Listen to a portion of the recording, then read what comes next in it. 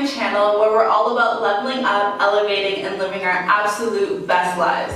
So this is um, a long overdue video that I'm doing today, but it pretty much is an update of my last update, which I did two years ago, um, February 2018 um, on my lip eczema status. So I felt like it was necessary because a lot, a lot, a lot of you have been reaching out to me via email, DMs, Instagram DMs, YouTube messages. Um, someone even called me before and I felt like, you know what, maybe I wasn't as thorough and I haven't updated since on my condition, so I figured let's just do a video. So pretty much I just kind of like went through my comments. There were 500 comments, so I just kind of found the top comments uh, or questions and um, I'm just gonna go through and answer as many questions as I can um, and if I left anything out we'll talk in these comments now um, if, and answer anything that you need answered. Um, okay, so the type of lip eczema that I have is um, eczematous I don't remember what it's called, but um, pretty much uh, from my research back when I remember there being at least like two or three different types, but that's a specific type I personally have. So just because you have the symptoms doesn't necessarily mean you have the same one. The biggest question that I got, which obviously makes sense, is how long does it take for my lips to go back to normal? So from what I remember, my symptoms began, I want to say like December or January of 2016. And then I didn't actually see a doctor until I think April or May or something. So I had it for quite some time.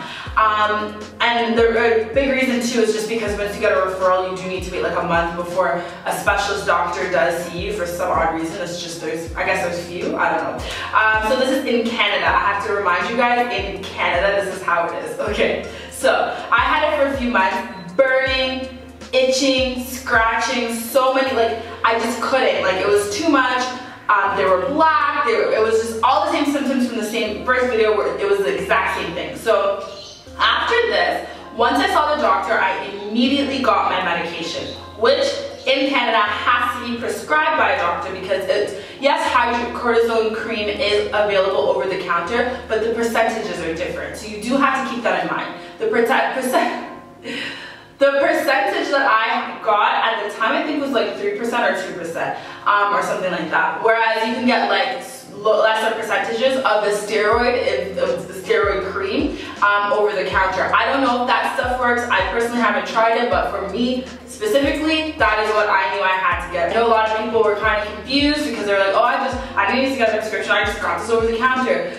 It really depends on your percentage. Maybe even mine was 10, I don't know. It was a higher percentage where it had to be through a doctor in Canada. Maybe the US is different. That's up to you guys to research and figure out with your dermatologist. Okay, so the meds that I use when I have a, a severe flare-up would be the hydro hydrocortisone cream. Once I got my prescription, it took about three weeks, two to three weeks for me to see a clear up of a four month buildup. So if you haven't seen a doctor for years, keep that in consideration of how long it's gonna take you to get better. If you saw a doctor immediately, then you get better a lot quicker. So you have to keep that into consideration and how your body reacts to, um, to meds. Like everyone's different. So when people ask me like how long did it take for me to get better, for my personal situation and I had a, I had it bad like it wasn't so bad it was like spreading around my mouth but it was covering my whole lips um, it took me two to three weeks to get completely better and when I say better no color discoloration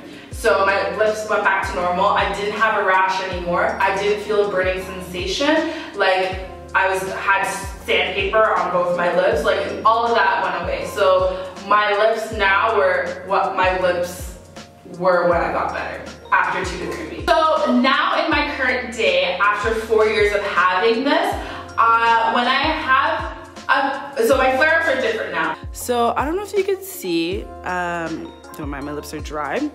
Part of the problem with um, lip eczema, but if you guys can see this line here and here, it's sort of formulating. It's in the middle of my lip. So basically, and it's starting to tingle. That's when I know that a flare is coming. So it wasn't like this two days ago, although my lips were dark. Um, and I'm pretty sure my lips are dark from, um, what's it called? Dehydration. However, I haven't uh, had a flare up. So I think that this time the darkness came first of my lips and now the flare up is coming. So when my lips were really, really bad back in the day, like the first time I ever got it, this line started to move. So I don't remember if it was moving up or down. If you guys watched my video, I did. I think I did specify. But the minute it got to one point or the other, that's when it started to get hard. It started to get extra dry, extra dark. It hurt. So usually when I got a flare up, I'm like, oh my god, I need my cream, I need my cream, I need my cream. So I wanted to update you guys on that because um, I just wanted to show you the, the beginning stages of a flare up. It's not the same for everyone. I do need to stress that because a lot of you guys ask questions and I'm like, I can't answer because this is for me specifically. Um, but uh, it starts to, even when I breathe in and out, I can feel it on that line. Like, it's like it feels kind of icy and it, it's it's just very uncomfortable and tingly. Sometimes I'll have like a spot or a little whatever. I just use shea butter when it comes to that. I don't like medications. I prefer not to. The only reason I said this because I know somebody or a few people have commented like, why would you tell people to take medication? It wasn't that bad. Maybe yours was so much better and you were really fortunate and you found natural remedies, that's great for you, but it was that bad for me that I personally had to take it. I'm just relaying my story to you guys. So for yourself, you have to use your judgment. Um, the reason I took so long is because I was trying natural remedies and they didn't work. So when I had a severe flare up, I had to use the medication and that's what I do now. But when I have small ones, like I was saying, like maybe like a small little patch or something weird and I can feel a tingle, I'll just shea butter and shea butter and shea butter and Vaseline on top of that, and then usually it'll just go away. Um, I haven't had that severe of a flare up since that first time, thank God.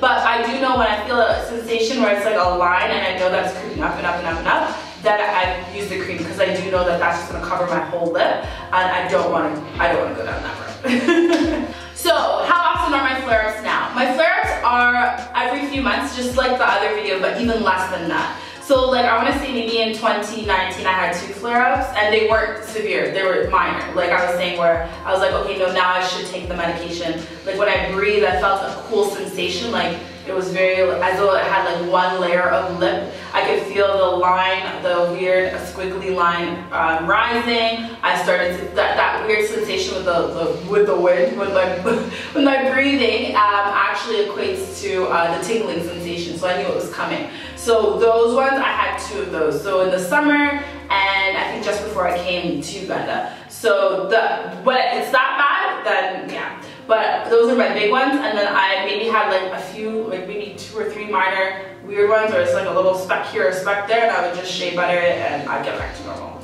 And when I say specks, I mean like a little rash or weird sensation, but it was never um, like full-blown patch, like no, just you could tell something was weird. Like I could always feel it, like I could feel it in my bones. I'm like, my lip was back. so what causes my flare-ups? I've found that when I'm stressed and dehydrated, and not just dehydrated, like I feel thirsty today, now I gotta flirt. As in like I've gone weeks and weeks and I'm just not taking care of myself. I'm stressed out, a lot is going on in my life. My body go, goes haywire and that is usually around where I get lip eczema. So I know it's different for everybody. So I know that there's three different types of lip eczema, I just pulled it up. So um, usually it's an irritant, so you can like have um, your lip licking or like lipsticks or just your environment that you're around. Um, and then there's another one it's allergies, so still lipsticks or something, or like something in your toothpaste or your medication that you're taking, something that you're just allergic to. And then the other one is just like a fungal infection, kind of like bacterial infection. Um, but you get it from like licking your lips, saliva, braces, diabetes or whatever. Usually when you're you have these outward things, your body is telling you something, you're just not listening. Um, so that, that is me in my case. So stress and dehydration for sure. What I recommend before taking any meds is definitely just take a journal. I mean, you'll suffer for a little bit, but it, will pay off in the long run. Trust me, because you'll, you'll understand what I mean in a few minutes. Take a journal and write down what's going on in your life, inwardly, outwardly, your environment, your diet, all those things. Do it for like a few days just to see that if there's been a shift so that when you're better, you can see the and compare the difference. I didn't do this, but I now, because I've had it for so long, I've taken note and I can tell and I'm like, oh no, like, I'm not feeling good internally. It started to show my outwardly. Like we need to reel things in. We gotta figure things out. So what I had to say next for sure, which I should have said first, is I am not a doctor. I love answering your messages and everything like when you need help, but I'm not a doctor. I'm only sharing my personal experience and I am not a naturopath or anything like that. So I haven't even tried out all these other remedies that people are usually recommending because mine cleared up. If it was, if it continued to be so severe and my flare-ups every time I was getting them were that severe like the first time, I probably would have put in a lot more work. Um, but generally speaking, um, literally talk to a doctor. My doctor knew nothing. She knew nothing about this, like she's an amazing doctor, but she just knew nothing about this. So she had to refer me to a dermatologist and a specialist who I told you guys about in my first video. And those are the people that can help you. If a dermatologist can't help you, get a second referral, get a third referral, get a fourth keep going until you find one because there are competent, amazing people out there who definitely know what this is. It's just not as common, so that's why it doesn't end up in a lot of doctors' labs. Okay, so my personal myth debunked of what people kept telling me because I did see in the comments people were like, maybe it's this, maybe it's that. But now that I know what's causing mine, like I'm, I'm very sure. So it wasn't lip products. I threw out a lot of amazing lipsticks thinking that that was the problem. It wasn't lip products, unfortunately. Um, because I know this is because I can go months, months, months wearing, I have so many different lipsticks, I wear so many different colors, and that is what's causing my flares. If that were the case, I would have an allergic reaction at least every couple of weeks or something, right? But nothing. Um, another thing was coffee. The dermatologist who talked to me, she was like, it's coffee. And I'm like, I don't drink coffee. She's like, do you smoke? I'm like, no, I don't smoke. So I don't smoke and I don't drink coffee, or I don't drink coffee regularly anyway. Um, so that would had to be debunked. So as I said before, um, it's definitely stress and dehydration.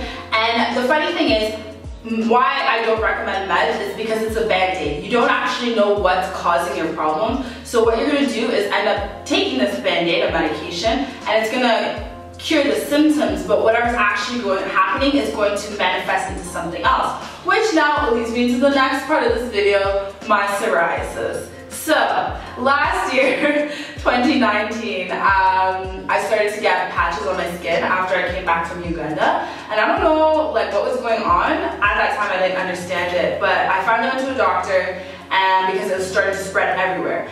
And my doctor was like, I don't know what this is, but like, I'll do a lab test. So I was like, cool. So she did a lab test and came back negative for, I think she was doing like ringworm and all these other things.